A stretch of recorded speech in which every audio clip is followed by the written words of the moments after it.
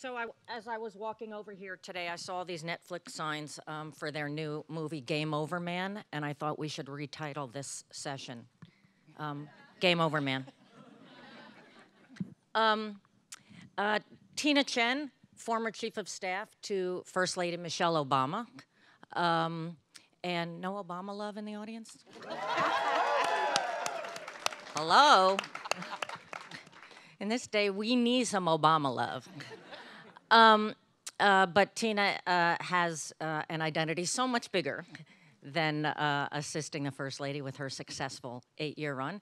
Um, she has been a long-time smart litigator lawyer, and since leaving the White House, she has specialized in uh, employment issues and sexual harassment and helping people and companies uh, deal with their issues and is a founder of the Time's Up Legal Defense Fund Tina Tchen, uh, law firm Buckley Sandler. I should make a pitch for your law firm.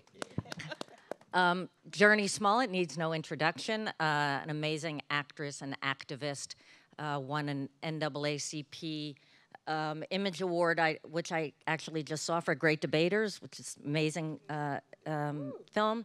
Her roles in Friday Night Lights and in True Blood and so many others. We're so excited to have Jurnee uh, here with us. Thank you. Um, Fatima Goss Graves, the president of the National Women's Law Center, a long time, always give the Law Center some love. Um, they have done such amazing work for so many years in the streets, in the field, uh, on sexual harassment, on women's issues, on so many of these issues, and we are so blessed to have Fatima now leading the Time's Up Legal Defense Fund. So um, we're going to hear more about that uh, history too. But maybe, uh, Fatima, let's actually start with that history um, because obviously there's, uh, you know, I'm checking out the average age of the audience here. Um, this movement has been going on for so long. The problem of sexual harassment has existed for so long. Put this in a little bit of context for us in terms of the how people dealt with it before, how people took it seriously, what kind of resources there were for women uh, or survivors, and we'll, uh, we'll, talk about the women versus men in a minute. But um, give it, give, set the playing field for us. Sure, and I and and it's interesting because to have harassment be a featured conversation at a a place like South by Southwest, I think that that is some of the visibility and shift that we're seeing now. But you know, harassment isn't a new idea, right? It is a long time problem that has sh- that shows up in every industry, in every workplace. And for 50 years, it's been unlawful to engage in harassment at work because of a ban on discrimination in employment. And it was the mid 80s when the Supreme Court said, actually, yes, harassment is a form of sex discrimination protected. So, just in case there's any confusion on the point, Supreme Court said it clearly then. And then, even still, if you fast forward, it wasn't uh, an area of the law that was well enforced. And there was, you know, at, when you do this work, there are sometimes these incredible movement moments. And so we are in the midst of one of those now, but many of us can remember back to a really critical movement moment with Anita Hill when she testified, and we had as a country a really public conversation around harassment at that time and what it looks like. Uh, and following her really brave testimony when Anita was by herself and it seemed very lonely, thousands of people came forward at the first time. You saw the e- the Equal Employment Opportunity Commission, which is the place where you have to go to file a harassment charge. The EEOC was saying was receiving really high rates for the first time just on the question of harassment. So that was an important movement moment then where you saw employers take some steps and people start to come forward. And in that period, since that period of time in the early 90s and now, we haven't had a giant moment like the one we're in right now. And so, um, Jurnee, you have been uh, involved with your peers in uh, Hollywood since the beginning um, of Time's Up, and uh, which really got its legs after the Harvey Weinstein uh, um, attention. Tell me how you got to this place and um, how you and some of your fellow uh, actresses and producers and writers and folks in the industry have really decided to kind of step up this way. You know, it's interesting. On a personal note, um, I've been thinking a lot about my own personal um, arc to to this place. You know, I've been in front of the camera since I was ten months old, and um, my first experience with harassment happened before I was a teenager. You know, on, unfortunately, on set in the workplace. Um, and I realized how conditioned I, I have become to just accept it as a part of my job um, and not really feeling like there was any place I could go or anything I could do about it. You know, fellow actors, uh, ADs, directors, writers. Like it really didn't matter. It just became, unfortunately, a, a condition to what I did. And I don't think any of us realized how conditioned we all have become to just accepting it. And, you know, with everything that started happening towards the end of last year, with all, of these brave women who started telling their stories, it, it became like a wave in all of us of like, oh my gosh, me too. This happened to you. And I think what we realized also is that we're oftentimes the only woman on set. We're oftentimes the only female, you know, who has a speaking role in the scene. And so we live and work in such isolation that we haven't had the chance to be able to say, "Hey, this is happening to me as well. It's happening to you too." We we, you know, have been working in such like separate you know, compartmentalized ways. And so when everyone just started telling their stories, we all realized this is unacceptable.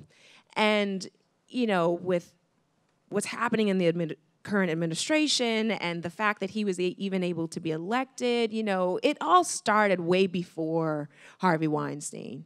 Um, but I think we all got together and was just like, enough is enough we can't allow this to continue. And really, this is about power and shifting the balance of power. There's been an imbalance of power. Unfortunately, our industry, like so many industries in our nation, have been run by straight white men. And that is unacceptable. It's been far too long where they've had the power. We are not in the boardrooms. We are not in the writers' rooms. We are not greenlighting the films. And and so until that changes, we're going to continue to be on the receiving end of this harassment because of the imbalance in power. Yeah. And Tina, that sort of sense of isolation that Jurnee describes as a woman in the um, in the room is quite common for women in a ton of different industries, whether it's the woman on the assembly line plant in a sea of guys, and you've seen this all over yeah, big law firms, right? Big law firms. Big law firms, corporate boardrooms. Um, and, you know, for so many years, even though, you know, as, as Fatima says, we've been at this work, not just combating sexual harassment and employment discrimination for a half, you know, half a century. We've been trying to do diversity and inclusion work for half a century. And yet here we are in 2018 with 6.4% of Fortune 500 CEOs as women. Um, my favorite one is there are more men named John, Robert, William, and David um, and on S&P Standard & Poor's 1500 top 1500 companies in the country than there are women. So there are more men with those names than there are any women on the boards of directors of the top 1,500 companies in the country. Um, so we are we haven't made the progress, and what I often say in this moment where we're talking a lot about sexual harassment is that it's important to remember that sexual harassment is the tail end of the process. It is the symptom that happens when you don't have truly diverse workforces. So the thing we have to remember right now as we're talking a lot about how do we address sexual harassment and all of this really important work we are all doing with the Times Up Legal Defense Fund to combat sexual harassment is that we also have to pay attention to really doing all the things that keep women and people of color from advancing in companies. So, all the structural barriers like no paid leave, like no flexible scheduling, no equal pay. We've got to break those down because when you have a truly diverse workforce that's led by women and people of color, in addition to white straight men, um, and LGBT leaders, then then you will have a workplace that's safe and equitable for their workers. So we got to look at all of it.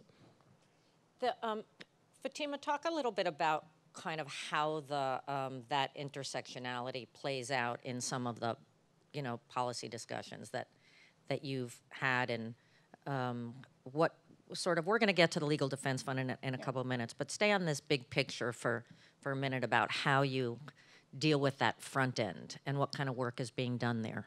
Yeah, and I, I'm glad you raised that because I, I, you know, when we're talking about how do you both organize and do the work at the intersections of things like race and class and gender and gender identity, that means both understanding the commonalities, but also sometimes that means you have to look deep and center the experiences of those who are most vulnerable in a particular moment. And what has been interesting about the what Times Up has revealed and the organizing behind Times Up is both the commonality, but also the space to go deep. So one of the things, for example, is that we know is that in workplaces that where employment relations aren't that typical. They aren't as traditional. It's not clear exactly who your boss is.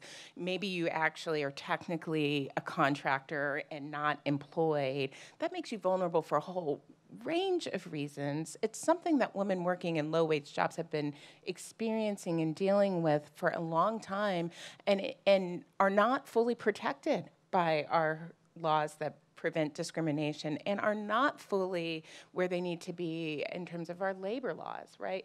So this conversation, it turns out that's true in the entertainment industry too, right? Where you go from project to project and it's not a traditional employment relationship. And a lot of these protections are contractual rather than, you know, under our civil rights laws in the same way. And so when you actually take a moment and step back and are able to go deep on some populations that are especially vulnerable, it changes the policy solutions, right? It makes us understand that any solution to this problem has to think about the fact that workers who are uh, domestic workers and home care workers aren't fully protected under the law, or the relationship between people who have to uh, rely on tips to increase their wages and the inherent uh, vulnerability that that brings in the relationship to harassment. So, if we really are going to do this in an intersectional place, it's going to require us to go deep and, and really center the experiences of women of color, of women who are in low income jobs as well.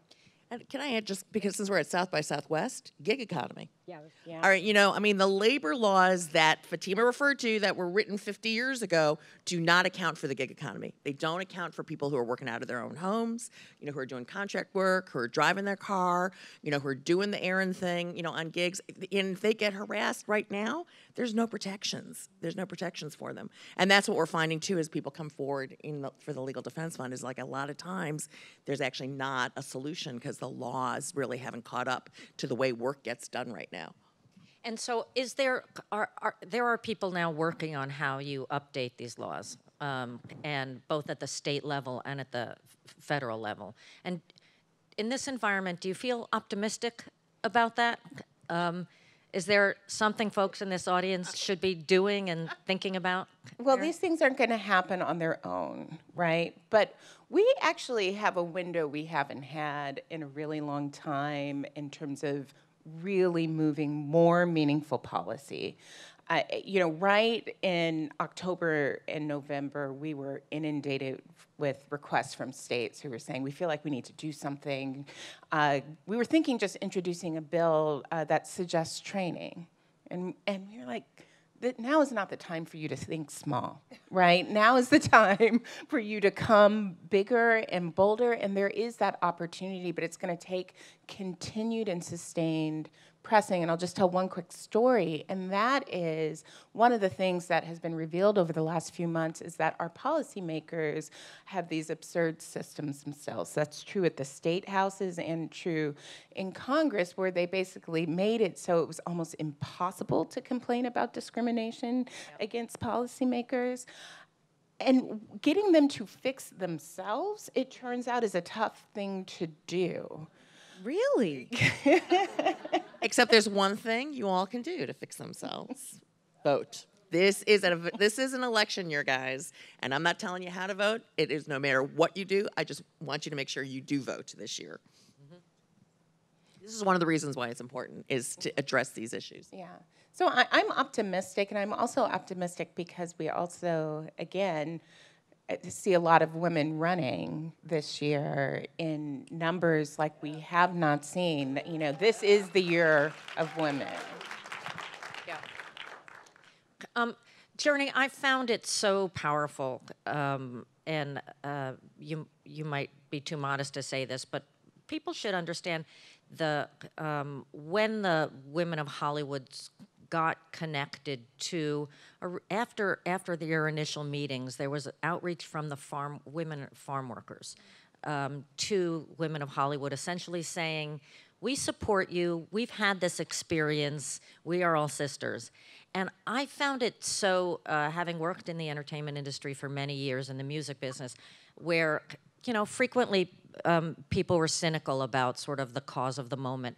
What what I found really um, heartwarming was how serious women in Hollywood took the alliance with other working women, with low wage working women, and how that has really fueled so much of the, the work. It wasn't, oh, it, started, it wasn't it, just a red carpet yeah. appearance, folks. This is like meeting after meeting, really understanding the problems that women in low wage uh, jobs have.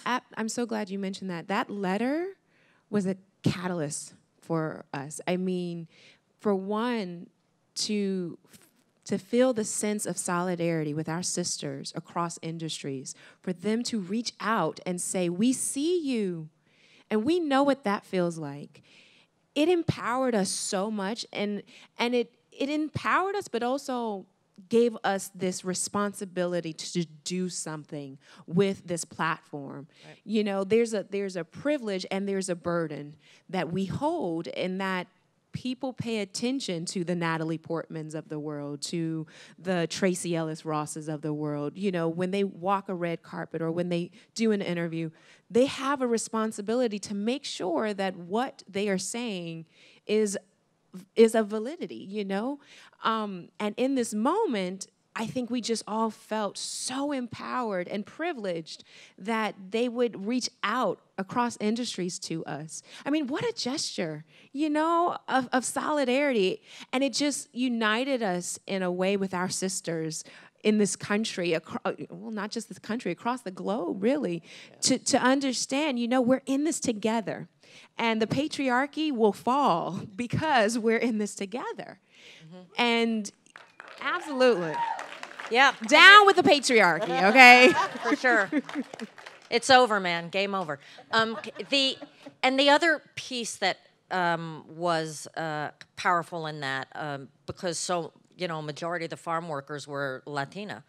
Um, that intersectionality and um, inclusion became sort of a, a, a, you know a watchword at the outset of this, Absolutely. as opposed to kind of a catch up like it did in prior feminist movements. Yes, and I think we we are trying to learn so much from the past and what you know pitfalls not to to fall into what mistakes not to make because movements that's, in the past okay. have absolutely you know unfortunately been co-opted and women of color are in the center hub of Time's Up. There is no Time's Up without women of color. There is no Time's Up without trans women. There is no Time's Up without women of, you know, different uh, abilities. And so we are so focused on that. You know, there is a working group called Woke, Women of Color. And, you know, one thing we are heavily working on is making sure that at every single step, Time's Up is thinking about intersectionality and how how the workplace is different for uh, for different women. You step into a, a room as Laverne Cox, a beautiful trans woman. How is that room perceiving her? And what challenges is she stepping into? That is a different challenge that I will never know. I will never know the challenges that Laverne Cox experiences. And so, how can we be sensitive and address her needs as well? And so those are the things we're challenging. And listen, we're not perfect. We're only, you know, Two months. We've been at this for Two two months, right? yeah. So you know, we, we we need staff. We've got a long ways to go, but you know, that's that's our that's our mission. And um, that sort of leads to the um, uh, founding of the Legal Defense Fund, which was intended to be for all survivors. And um, Tina, talk a little bit about that early philosophy, and then Fatima, I want you to give everybody an update on how the fund is doing, what's happening, some of the stories we're hearing. Yeah.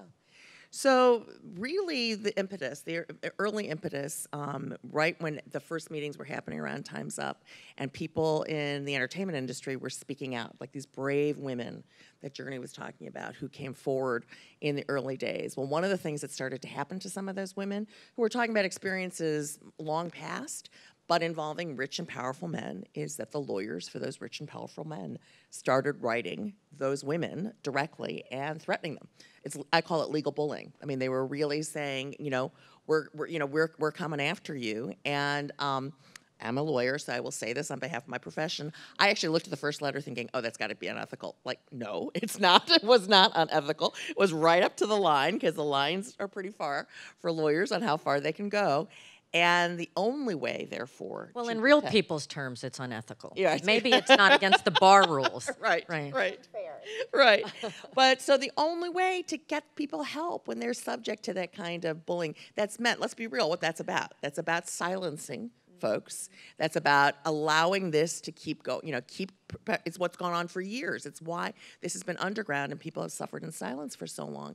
And the only way to put a stop to that is to make sure they have lawyers. That everybody has a lawyer who needs a lawyer, and you know that was the impetus eh, right away because a lot of times if you don't have a good claim for wages because you got fired and let's be clear the laws are tough because the statutes of limitation the requirement is very short like 180 days for you to file a claim and if this is something that happened to you years ago and you've left the business but it is just been it has made you leave your job and it's it's eating at your soul then and you speak out you can get sued for defamation and that's what was happening. And then you are on your own to pay your legal bills.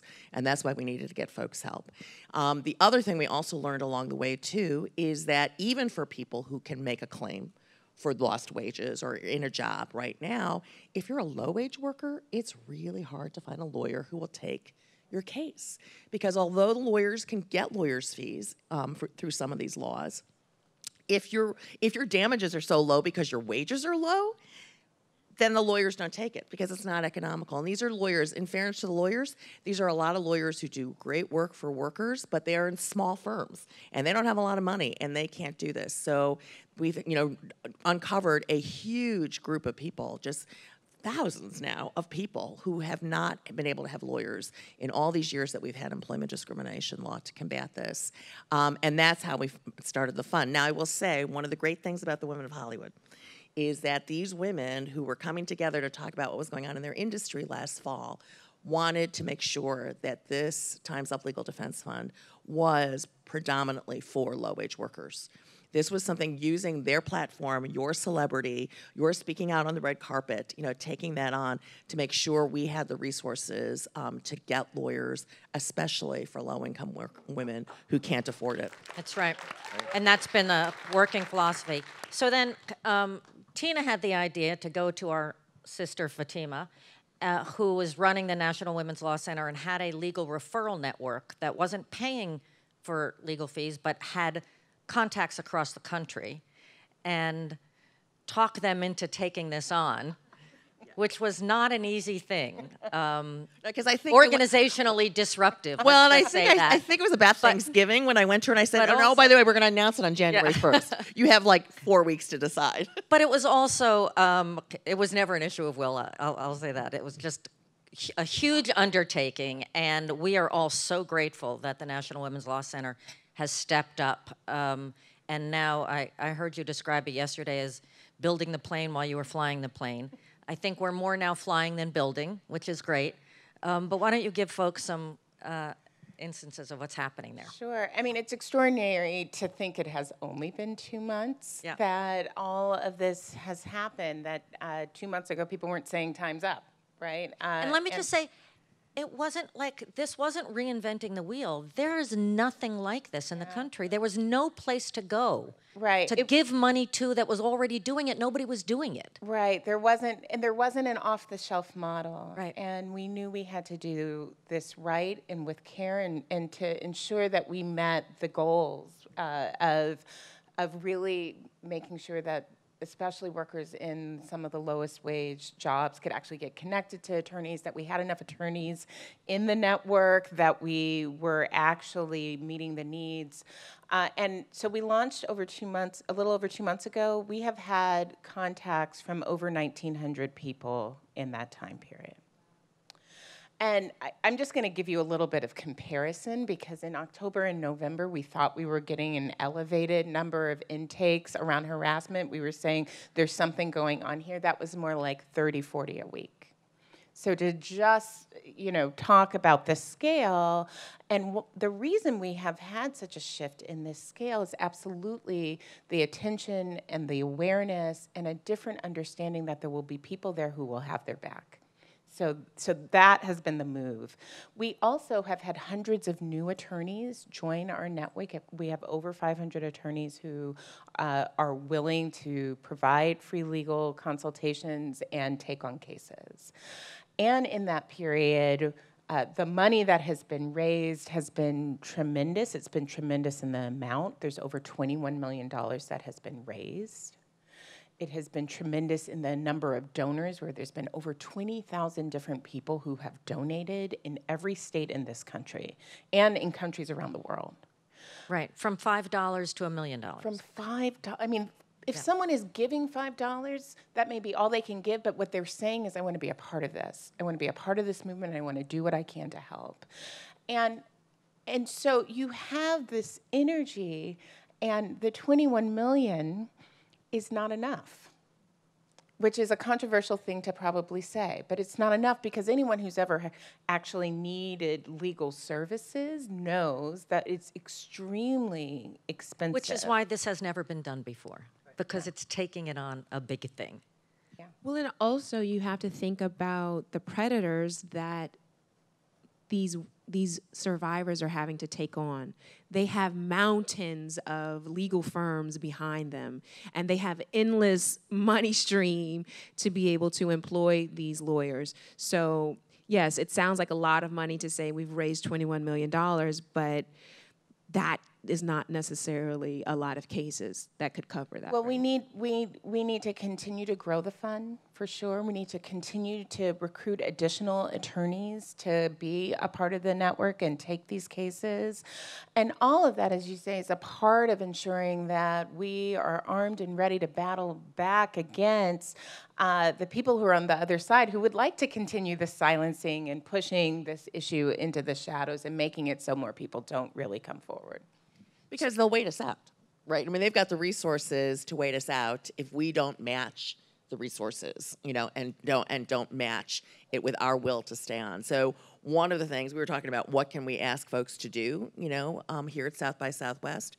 Couple things. One is continue to raise money for this. You know, hold a fundraiser. You know, hold, and it can be both an awareness raising event and fundraising event because we need to grow the resources, and then we also need to get the word out to folks who might need help that there's a place to go, especially low income workers, and that's something the South by Southwest community can really be helpful to us on. The other thing that the fund has uh, is doing, and is an early pledge from the start, is that much of the bullying ends up taking place in the in the media. So there's a silencing uh, that's beyond just a, a quiet legal threat, and so the um, vision of the fund is we're not just going to help you legally, we're going to help you PR wise.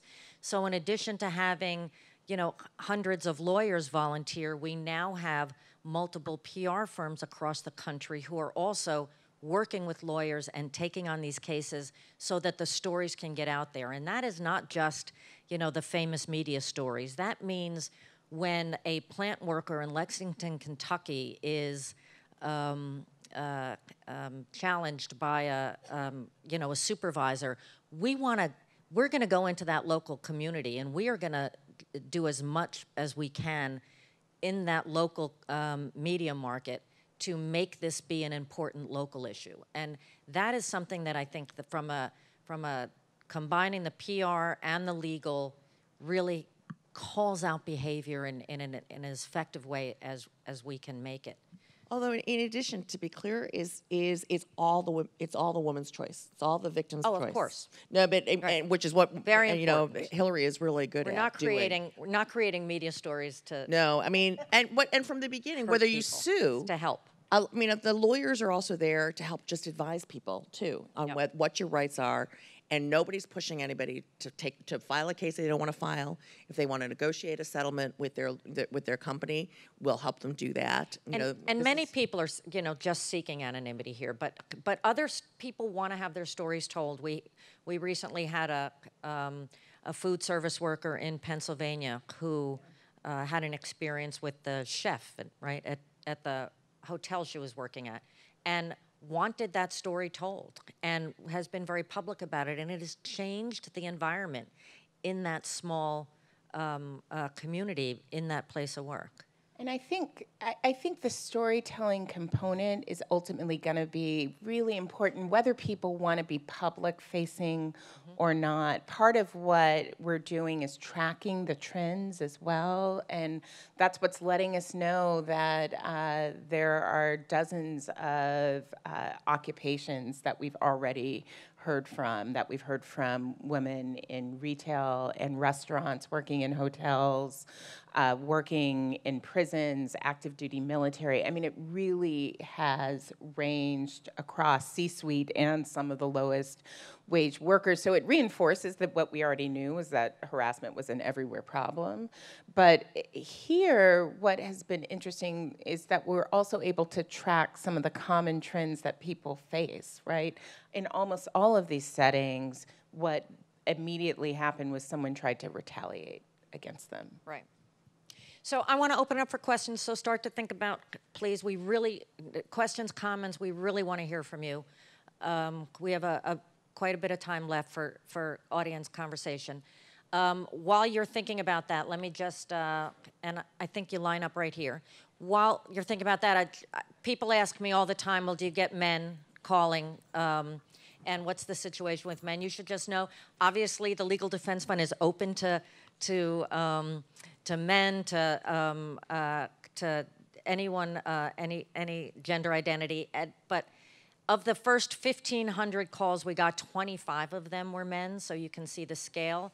Maybe some of that is that men are less likely to seek help, but maybe um, it's also indicative of the problem. So we frequently say she and woman when we connect with survivors, just because that's where the data is going.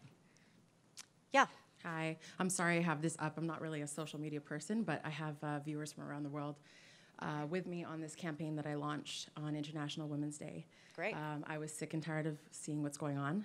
I am a personal victim of Me Too multiple times, unfortunately, um, which inspired me to start a campaign because um, I was violated and uh, almost blackmailed to have my naked body shown. I was drugged and um, taken advantage of by a friend and th- two other people. And um, because of you guys and what you've done, sorry, it made me emotional. It's okay. The reason why I'm here. Give some love. Give her some love. Yeah. You are so brave. You are so brave. I'm doing this for women everywhere because nobody should have to feel how I felt, how any of us have felt when we've been violated. So what I'm doing is actually I started a campaign that launched around the female form, the body. It's inclusive for everybody, LGBTQ plus community um, included. Um, basically, what we're doing is the hashtag is this one's for me, and is women taking back our power. so that we're not oppressed anymore, so that we're not abused anymore, so we're not discriminated anymore, so that when we go in our office, we don't have to like work so hard to get in a place that we deserve to be in because we are so powerful and we have so many stories to tell and we are just so talented multi-talented as women.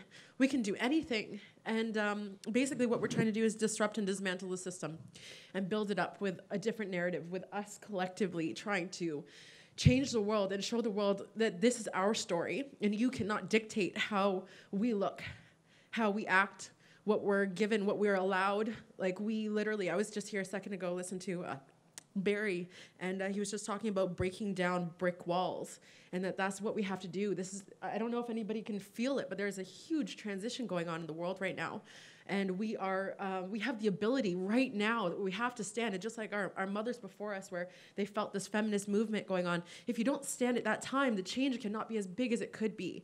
Um, I have a lot to say, but I'm gonna wrap it up because everybody here has something important to say. But first, I would love to connect with all of you to see how I can uh, make this um, movement even bigger. We just started two days ago. We have around 2,000 followers, 5,000 people loading in, uh, 100 people that have already participated in our movement. Um, you can check it out at the Boob Book, at the Boob Book. But um, I had an important question for you, and my mind is going a million miles a minute. Um, basically, what do you, what advice do you have for me trying to make a change, trying to not just listen and and talk but walk and like from your perspectives of, as active women in the industry uh, who are making a global change what advice do you have for me so i can really catapult this and take this far so that women in india who are getting acid burned and and there's people from all across the globe that are being oppressed that can can hear us speak and how do we push that It's a it's a perfect question. First of all, thank you for everything you're doing. thank you And if you if you do not control access to your body, you control nothing. Like that is step number one. Um, ideas on Well, the first thing I just want to say is you're doing it. Yeah. I I mean, and, and thank you for what you're doing because that has been this opening we have right now. People have to enter it from their stories, their experiences, and we need to tie it together. Because I agree that this is not like typical business, and at the end of this, I think we are going to be in a different place, especially if all of us work together to turn up that volume and and and shift to that next phase. So it it sounds to me like you are doing it. I, I would just add one, one thing I'd add is is is look for others because there are a lot of folks out there doing it. This is sort of the lesson from Times Up. I want you to learn is we weren't going to start this a new thing all on its own. We went to a 45 year old women's rights organization, the National Women's Law Center, and that has been the key because they were already there. And in all of these, there's already somebody there to be your partner and to work with you. And too often in the women's movement, I feel like we're fragmented and we get separated from one another. And I want to give a shout out to my United States of Women folks right here Jordan Brooks and Taylor Barnes. Raise your hands. One of the things we did at the Obama administration was start United States of Women through the White House Council of Women and Girls. It's continuing. The next national summit will be May 5th and 6th in Los Angeles. Jordan and Taylor are here. That is what United States of Women is about, is to connect. Everybody's doing work in all of these spaces for women and girls. thank you it was an honor to be here thank you. And Thank um, you. I, I just want to say also I am over I'm sorry for collaboration over competition ev- all the way. I'm working with everybody to piggyback on top of this so that people can find the avenue that they need to find healing. So thank you, and I'll be in contact with you guys. I hope you see my email info at theboobbook.com. Don't don't dismiss it, please. Thank you. Thank you.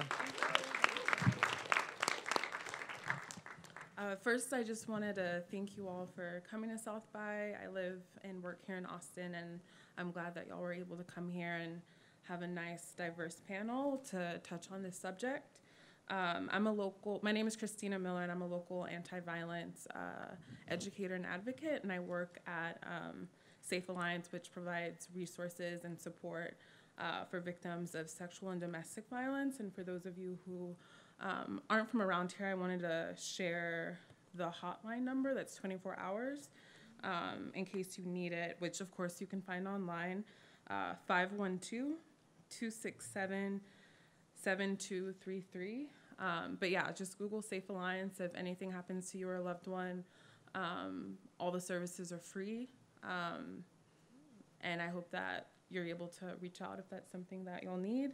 Um, I have a question around um, the backlash that y'all have been getting. I feel like October and November, there's just this huge surge of um, victims coming forward, but I feel like now it's hit a point where uh, those of us who aren't very invested in this movement um, are sort of pushing back, especially as their faves are being named as serial abusers, and um, a lot of men in particular are paying lip service, wearing the Time's Up pin, who um, aren't really doing the necessary work to um, lift this up. And I just wanted to hear what y'all think around that, um, around that subject. It, it's a really good question, and we've all we've seen it in multiple places. Whether it's you know, the you know guys in the workplace breathing a sigh of relief, or you know fighting back and suggesting that women shouldn't be believed. Um, we we've seen it in all sorts of industries, and I think you know the my personal view is the counter um, uh, action to that is just vigilance. Like we are not going away, Yeah. and this is not a this is not a moment in time. This is an you know this is a a movement. a movement forever cause, and and so um, it you know I think it is up to all of us to make people believe that that we're not going to forget about this. This is not like a cause celeb. This is a systemic, significant balance of power problem that took you know a hundred years to get us here and may take you know several more to get us out. Thank you. Sorry. Well, the only other thing that I'd ask was two weeks into the media stories in October, reporters were asking me when the backlash was coming and, and it, when is this ending. So people were ready for it to end before it had even really begun. And if, as someone who's been doing this work for so many years, you know that part of it is doing the work and continuing to do it, as you say, being vigilant. Uh, so the backlash will come and we'll be ready. The other thing that we get, just to, um, I'll say, is you know sometimes reporters ask me, well, where's the rehabilitation for these guys? Where do when do they get forgiven? What about the support of victims? And you know that that's what I'm saying. It's like that's not our job to forgive them or rehabilitate them. That's up to them to figure out what they can do next. Right? Like that that's not that's not our job. Our job is that there has been systemic abuse and we have to support survivors. And if if you know people who have been abusers wanna wanna get on with their life and, and make amends, Then do it. make amends. No one's stopping them. And then I just had one quick question. Quick Uh, question. Uh, Oh, so we have April is line. Sexual Assault uh, Awareness Prevention Month, and I was wondering if y'all were uh, gearing up to do specific pro- programming for that month. More to come. We gotta get on that. today. More to come. Awesome. Thank so you. much. Thanks for your work you're doing here. Hi, uh, my name is Mackenzie, and I'm 18 years old. Uh, I'm, yeah, I'm, I'm really young. Thank you for being here, Mackenzie. That's yeah, great. this um, this is my first year at South by, and I wanted to start with kind of a story because I feel like a lot of this conversation so far has been focused on the workplace, and that's super important. But um, so I wanted to talk a little bit about harassment in schools, and because I, think that's important conversation to highlight as well. So like when I was 14, I was on the school bus, and I had to sit next to this guy who was making nonstop comments about me and mainly about me giving him a blowjob and being very touchy. And when I reported that, it was mainly like a, well, those comments are crude, but he was joking. And it was more of a like a slap on the wrist and kind of a get over it situation. And I was wondering what your advice is for young women who are going through this in a, in a society that seems so focused on the idea that boys will be boys, and that's just something that you have to deal with. And so, especially for young people who are so scared to speak out in, in school systems, I was wondering what your advice was for that. So Fatima and I can jump right into this. So to be clear, Time's Up. We've been focused on the workplace because one of the things we say in Time's Up is, you know, there are we can do a lot of things, but we need to focus. And so Time's Up has been focused on the workplace. However, one of the things Fatima and I have spent a lot of the last eight years doing is working on um, sexual harassment in schools, specifically around Title IX. Title IX is the federal law that bars sex discrimination in federally funded schools, which applies all the way down to kindergarten schools, all the way up through colleges. And it's most frequently known for the it's the vehicle by which we've got more women playing sports. But it also as we made clear in the Obama administration in a letter that um, Secretary Duncan wrote to all of the schools in 2011, um, it, federal law requires schools to address sexual assault and sexual harassment of students. That it is illegal for them not to have systems in place that support victims, right, and hold perpetrators accountable. Um, and we did a lot of work around that, and the Women's Law, National Women's Law Center has been representing a lot of victims, you know, who are whose schools are not doing their job. But here's the thing: um, the current Secretary of Education, Betsy DeVos, has already announced and is going through a process of rescinding our letter on sexual assault. She did it after she only met with you know um, perpetrator representatives and not victims. And Fatima, you should jump in because the National Women's Law Center, along with others, is suing the Secretary DeVos right now about that action. Yeah, I just to add on to that, because here's a concrete way people can get involved. We did file a suit challenging the Department of Education and, and the Secretary for rescinding the guidance and putting out confusing guidance to schools that essentially said, do what you like. Uh, there is going to be a formal comment period that is scheduled as soon as this month. And that is an opportunity for people to weigh in and tell the Secretary of Education what it is that you expect your schools to do to tell stories and uh, you know it's important i i urged and many of us urged uh, the secretary to actually spend time meeting with survivors to go around the country and hear their experiences with their schools. They chose not to do that. They chose not to do frankly the deep work that the obama administration had done where they were listening to people in a range of ways. So we're in the middle of a really important conversation and fight on that. And then the last thing i'll just say is that uh, because of the attention and awareness, I think, from Time's Up, we have been hearing from more people who are coming in and also talking about their experiences of harassment and violence in schools. Uh, we are able to connect people through the broader legal network for those types of cases for attorneys. So, people, if they come in and have concerns around sex discrimination and sexual harassment in other settings, we're still able to connect them and give them attorney information. And I, I would say one more thing, which is um, you stay strong because all of the rules um, coming from Washington may not, you know, affect how somebody feels every day on the school bus. And we have allowed social media to be weaponized against um, girls for too long.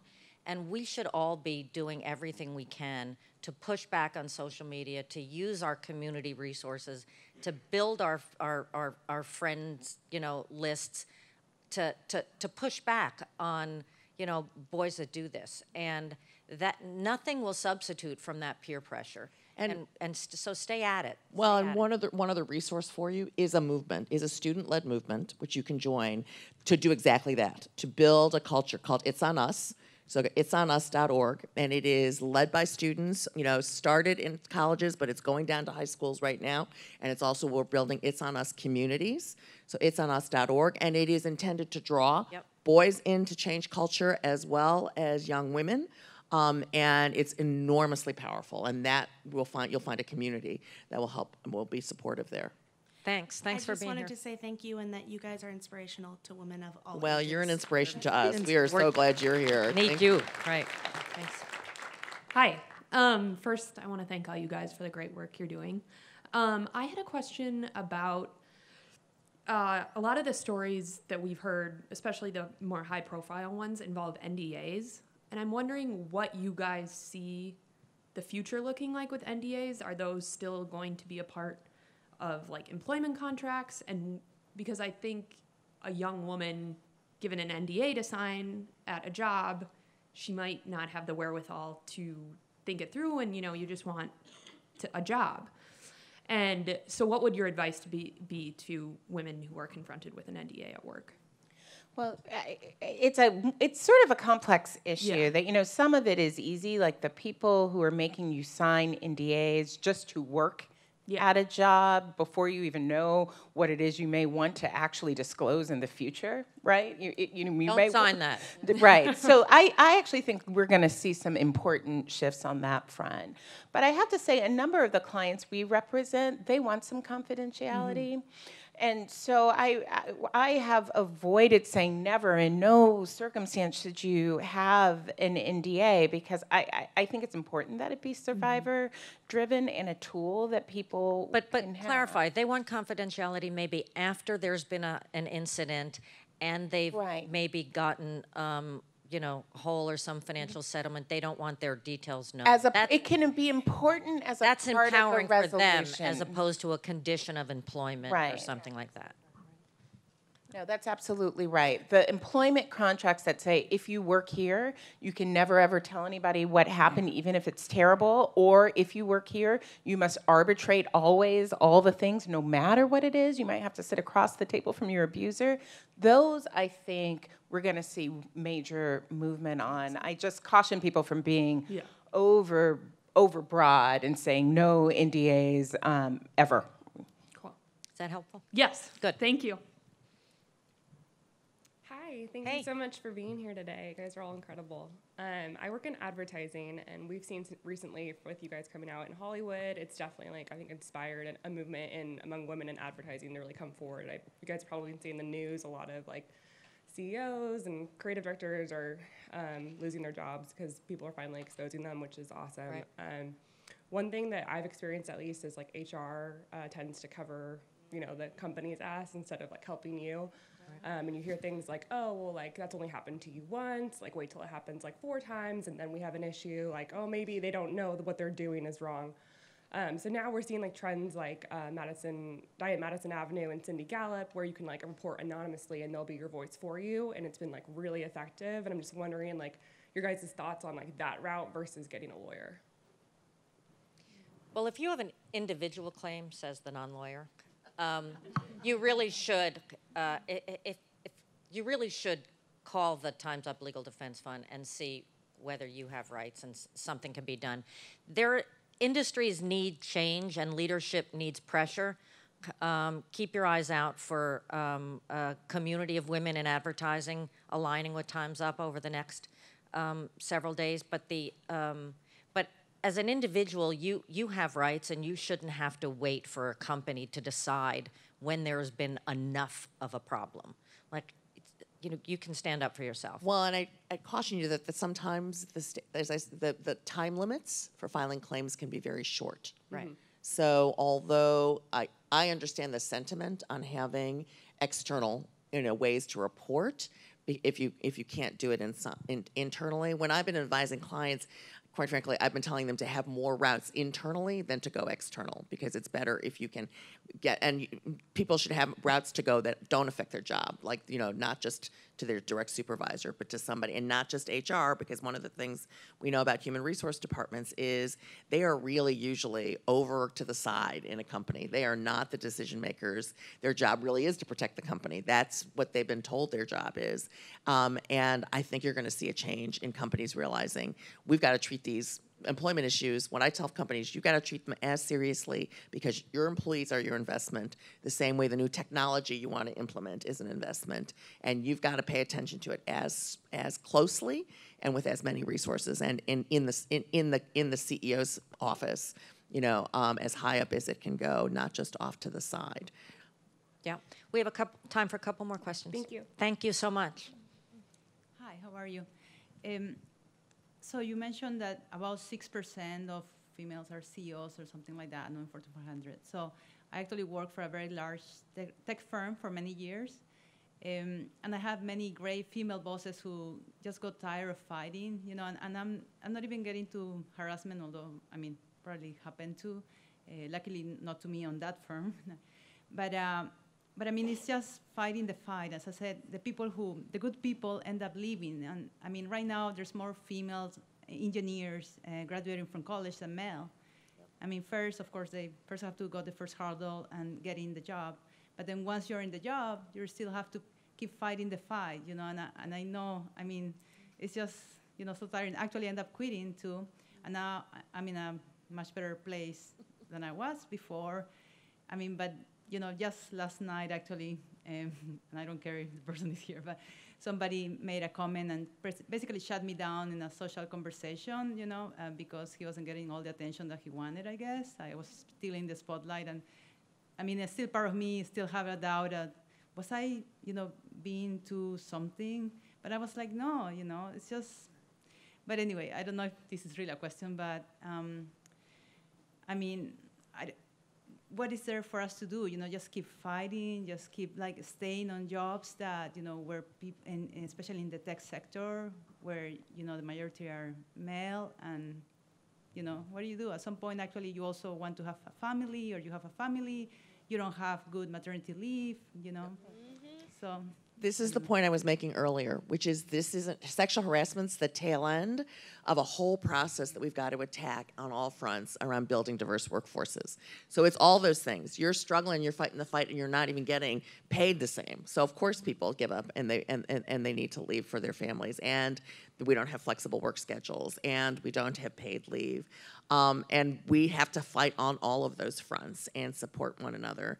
Um, and it, we really need people to stay in the jobs and companies are starting to realize that. I will say on the you know hopeful note you know one of the things i observed when we were in the white house were companies who came forward who really did want to help. They, they see the data that's coming out now right that more diverse companies are more successful. We're, we have an increasing body of, of economic data that shows that actually it's profitable to have a more diverse workforce. It's not just like the right thing to do. It's actually the profitable There, thing there to was a McKinsey study that came out uh, um, two months ago that basically said that companies with more diversity at the top have a 15% Right. um, revenue differential at, um, from other companies. get companies. those statistics out there more. Yeah. Well you. and so we're gonna we got to fight on all of those fronts Stay with it.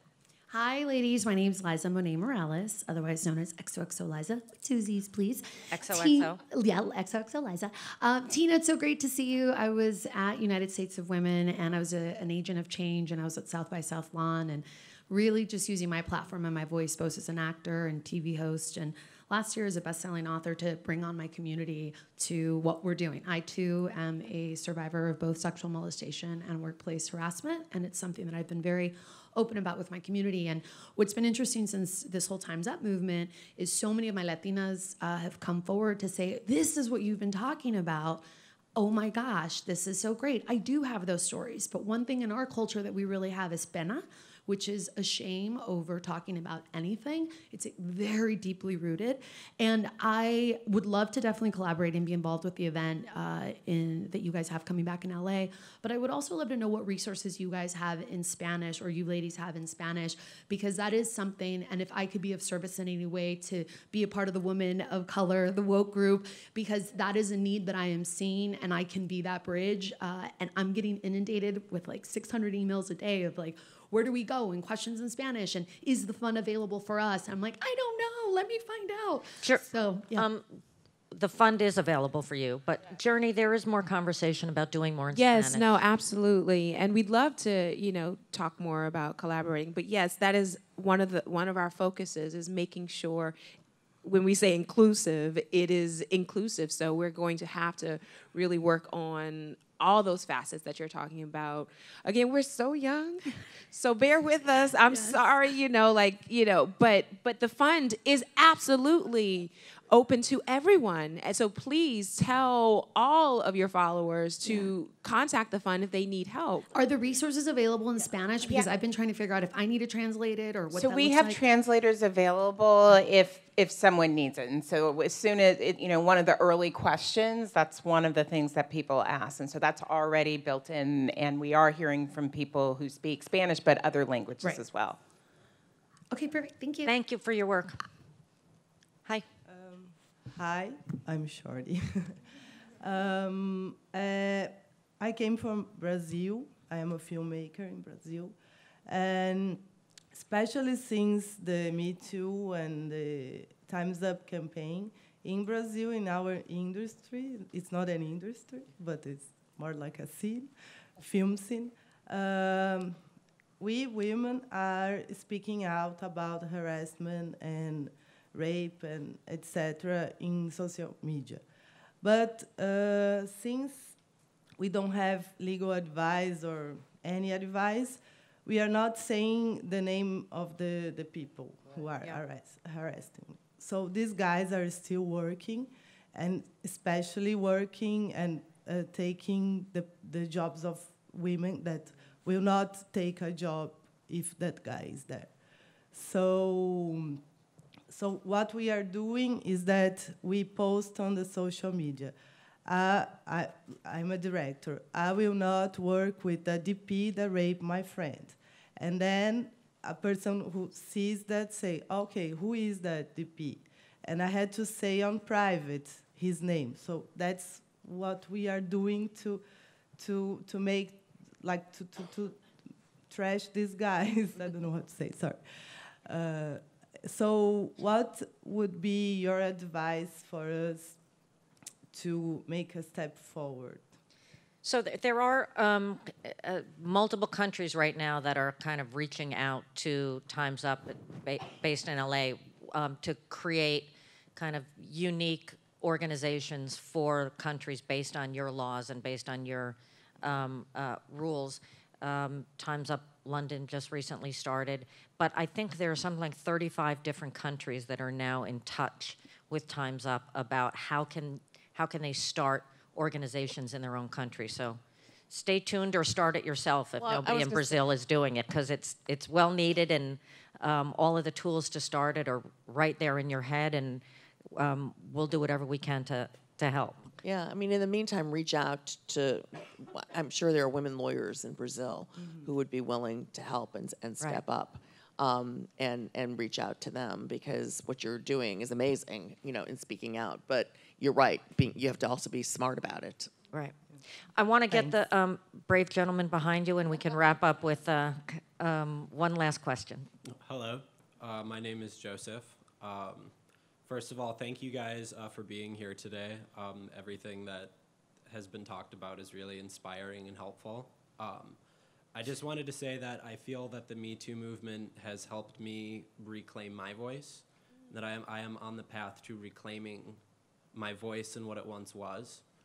Um, when I was in high school, I reported two men who were in positions of power that eventually were removed from their positions of power. One was a teacher at my school, and the other one was my boss. Uh, they were sexually harassing people and behaving very inappropriately. Um, and it's just, I'm sorry, I'm speaking slowly just because it's, it's kind of emotional. Um, I feel kind of dumb, or I felt really dumb entering my adult life because when those things started happening, it wasn't as easy as when I was a kid. I felt like um, when I was in high school, adults were more willing to listen. Um, but now with everything that's been happening, I, I don't know, I just feel a lot more optimistic. Um, but yeah, I, I have my sights set on man number three because of the Me Too movement. He is a man who works in the media. And yeah, I, I just really want, from the bottom of my heart, I wanted to say thank you. That you have seen a, someone else being abused and want to step in and help. Is that? Yes. Yeah. Yes, I've, this man has put people's lives in danger, and he needs to be reported.